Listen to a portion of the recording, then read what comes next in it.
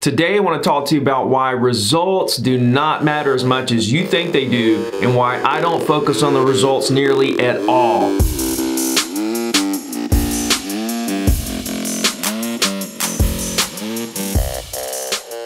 What's up everybody, Ricky Carruth here. Welcome back to my channel. So a couple weeks ago, I went up to Birmingham, Alabama for the REMAX Awards Banquet for the state of Alabama 2018. And I was super surprised to get the number one REMAX team in the state of Alabama for the third time. I hit this award in 2014, in 2017, and now 2018. The reason why I was so surprised is because I had no idea that I was gonna hit that award. So I was surprised this year that I hit number one. I was even surprised last year when I was there and hit number one. The reason why I'm surprised about these awards is, is because I don't focus on the results. I'm not concerned with what's going to happen at the end of the year. What I'm more concerned with and what matters the most to me is the effort that I'm putting in on a daily basis.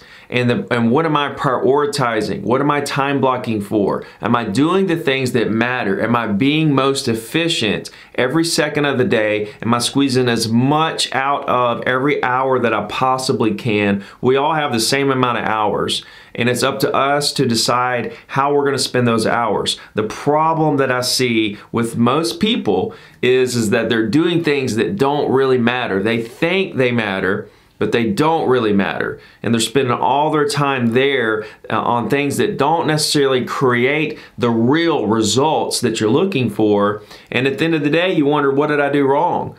Okay? You're not doing what really matters and you have to become really good. You have to develop the skill to recognize what matters and what doesn't matter. I've said this before, I don't wake up January 1st and say, I wanna do 100 deals this year, okay? I don't do that. What I do is, is I go to work and give it all I got to be the most efficient, to be most productive, and to do all I can do to help the most people that I possibly can. And when I go to sleep at night, I know that I've done all I can do, and so therefore I sleep very, very well. Another big problem that I see out there is people creating these goals okay? Like for example they want to sell 100 properties in a year or you know they want to make so many phone calls every day or every week or they want to get so many listings every month okay? So you're creating these goals which are a result and then if it looks like you're going to start coming short on those goals you start to become kind of depressed and you start to become down on yourself when in reality you might have been given it all you got you see, guys, you can't necessarily control the results. When you're making calls, you can't control how many people actually answer that day. Okay, you can't control in a year if the market decides it's going to crash, okay, or slow down like we saw last year. You can't control those things. Okay, you can't control if people are going to buy and sell right now or not. That's up to them. It's our job to make them feel comfortable enough with us to choose us as their real estate agent when they decide to buy or sell. But it's not up to us to actually try to control that result. What we have to focus on is not the results, but we need to focus on our day to day, our actions. What are we doing? Are we most efficient? Are we doing all we can do to help the most people? Okay, that's what's most important. And if you do that every day, you should be very proud of yourself and happy regardless of what the results are. So this year, okay, of course, I would like to hit 100 deals again. But the thing is, is this. If I hit 50 deals this year, I'm going to be just as happy as if I hit 100 because I know that I did all I could do to hit that 50 and that was all I, was going to do. I can't control that. Okay, I'm happy because I know that every day I worked just as hard or harder than I did the last day, and I'm putting forth just as much or more effort, and I'm trying to get better every day. I'm trying to figure out how to be most efficient. I'm always trying to tweak what I'm doing or learn something new or change something and adapt because here's the facts the world's always changing. Um, things are always changing, the market's always changing, technology is always changing, um, at people's attitudes are always changing. There's always change happening, and you have to be on top of these changes, go with the flow of the market, and do what you're supposed to do to talk to enough people to find those people that want to do business with you for the rest of their life. There's an unlimited amount of loyal clients, loyal, that will only do business with you for the rest of your life. Okay, unlimited amounts of them. It's up to you to put the work in to go find them, and that's what we're not doing. We're stopping after 100 calls, 1,000 calls, 5,000 calls, and we're stopping. We have to keep going. Our job is to filter through all the people out there, talk to them, introduce ourselves, show them how much we care, and see if there's a connection. Okay, and if you go through enough people, you're going to find an ungodly amount of people that will only do business with you for the rest of your life. So let me talk about the REMAX Award real quick, the number one REMAX team in the state of Alabama, because I know that I proclaim that I'm a single agent. So here's how that works. Me and my father are considered a team in the REMAX system. Okay, so but we operate as single agents. Our businesses are completely separate. He does his thing, I do my thing. So all the numbers and everything that I talk about on this channel and everywhere else are, all just my single agent stats. I operate as a single agent and everything I do is focused around being a single agent. Now, when I go get REMAX awards, we're classified as a team, okay? So, um, but that's very interesting because it's just a father and son team, basically with REMAX, just two people, and we're going up against people with, you know, teams with more agents. So we're in different categories. REMAX created different categories.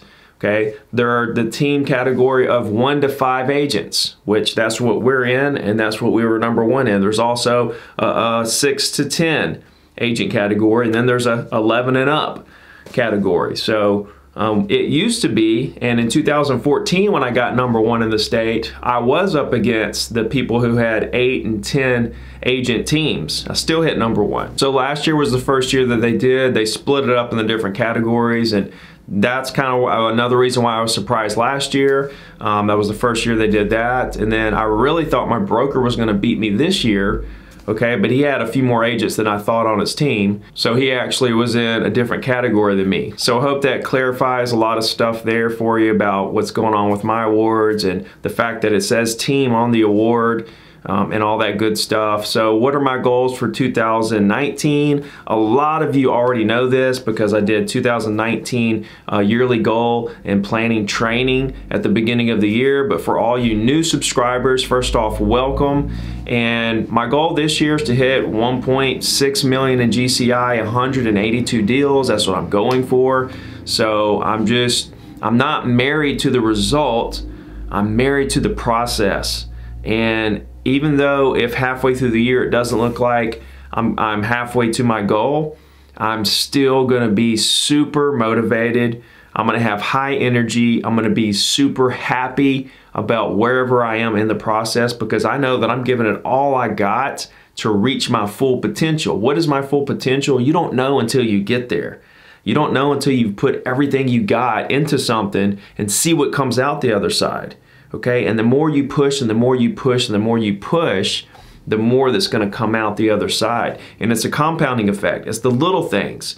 Like if you make two contacts a day, you might think, you know, that wasn't really a good day. I made two contacts. They don't want to buy or sell anything, but you had two really good conversations and two really strong contacts. You got their email, you're following my program, you're doing the weekly email. And what will happen is, is if you keep pushing and be happy about those two contacts instead of being down on yourself, okay, and realize that two contacts a day could equal 50 to 60 a month, okay, two months goes by, now we're at a over 100, okay, we're over 100, now we're at 150 in three months, we're over 200 in four months, 200 people that you had great conversations with that are property owners in the area who buy and sell property, who are going to do something at some point in the future. And some of these people are going to do things now. They're going to buy and sell property now. And you have to keep going.